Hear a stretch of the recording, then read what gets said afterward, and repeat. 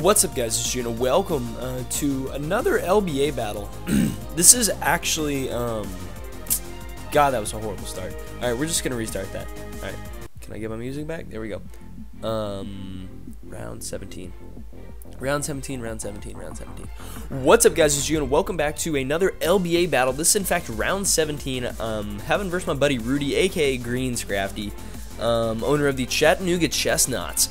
And there were some questions on the last video about how my record got to 9 and 7, or 9 and 6 rather. Um, it was because a couple of people dropped out and uh, one of my opponents just straight forfeited. Like, they saw this power. no, I'm playing. Um, one of my opponents just straight forfeited, so, or two of them actually.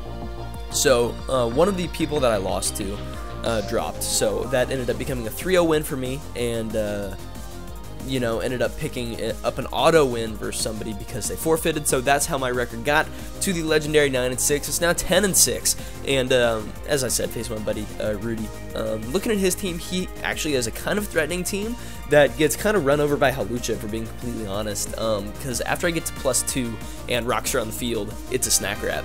Um, he has Chesnaught, he has Mega Gallade, he has Bisharp, he has Venomoth, which is dangerous for like quiver passing and regular Gardevoir or Victini. And looking at my team, I have um, Unaware Clefable, which just like stops half of his team. Uh, we have Choice Scarf Excadrill, which is a little bit unfortunate because Victini outspeeds it if it's uh, Jolly or Timid um, if, and uh, assuming it's Scarf. Then I also brought Entei because I figured priority would be very nice for picking off a lot of his setup sweepers. Um, then we have uh, DD, Sub DD Mega Gyarados, we have SD Hawlucha, and we have Gothitelle to trap Chesnaught potentially if I do want to try to win with Gyarados. So anyway, we're going to go ahead and kick this one off, and uh, you guys will see how this went. Um, also, shout out D-Train for recording this because he's, he's an awesome guy. He's a stud. Anyway, so he ends up leading Victini as I end up leading with Clefable because uh, my team name was uh, actually named after like the first couple lyrics in You a Lie by, uh, uh, I, I think it's ASAP Rocky. Um, anyway, it's like, bitch, I'm out here grinding. Anyway, I'm just going to go and get my rocks up as he ends up U-turning out, which is extremely fine by me, and now you guys are going to witness an extremely unfortunate turn of events. Do you remember all the hacks that happened earlier this year against me that, like, basically caused me to lose two games? Throwback to the Thunderbolt para, throwback to the Stone Edge crit. Well, I'm going to click T-Wave right here. And before you guys be like, oh man, Geo, like you're a complete jerk. You're just trying to like buy free turns with paralysis. That wasn't really my mindset here, because uh, this thing is really my only stop to Venomoth. Um, if it is running like HP ground, which really I wouldn't put it past it to have. Um, so I needed a way to slow this thing down so I could revenge kill it. So that's why I T-waved. I'm just gonna put that out there right now. That is why I T-waved. It wasn't because I, I'm a dick. Like, it, it wasn't because, that, like, that's true, I am a dick, but it wasn't because of that reason. Anyway, I'm gonna drop a special attack right here as he ends up getting paralyzed, which is unfortunate for him. Very, very unfortunate. Anyway, Clefable is gonna keep throwing, basically, these planets, um, at this dude.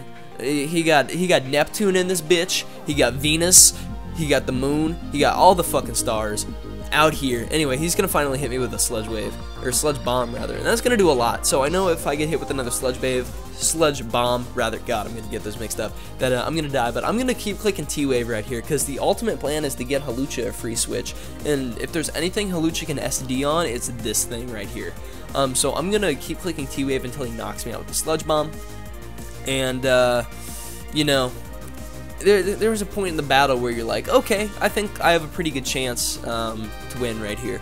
And uh, that was that chance for me. Because I'm going to set up a sub right here as he gets fully paired. Um, and I'm going to click SD. And really, as soon as I got to this point, I knew I won. It was just a matter of, is it going to be a roll versus Victini or not? This second Swords Dance seals the deal.